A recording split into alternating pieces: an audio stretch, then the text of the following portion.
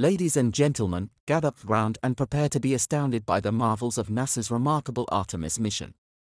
We find ourselves on the verge of a momentous journey back to the moon, as humanity sets its sights on the stars once more.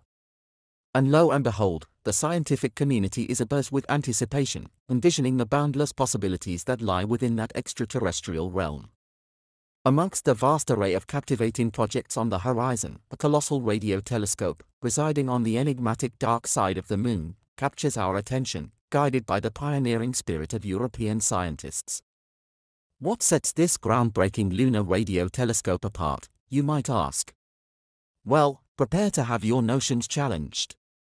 In a departure from the conventional wisdom of earthbound observatories, our intrepid European scientists have embraced an audaciously minimalistic approach that leaves us awe-inspired. Picture, if you will, a telescope as minimalist as an inflatable mattress.